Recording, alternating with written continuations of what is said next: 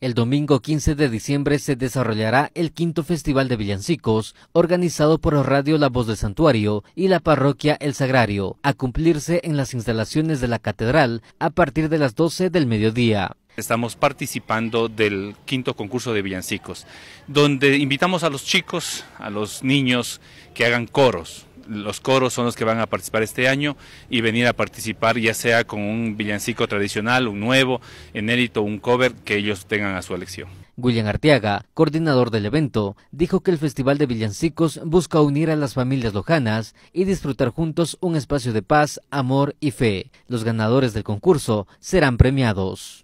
No estamos pidiendo que venga gente profesional, eh, porque hay mucho profesionalismo en Loja en música, entonces se pide solo a los niños acompañados ellos mismos con sus, con sus instrumentos o con pistas que pueden participar. El premio es el primero de 200 dólares, el segundo de 100 y el tercero de 50 dólares. Quienes deseen participar pueden hacerlo en la Secretaría de Radio La Voz del Santuario o en la Iglesia La Catedral. El valor de la inscripción es de 5 dólares. Con cámara de Luz Cabrera, reportó para Sur Noticias Guido Benítez.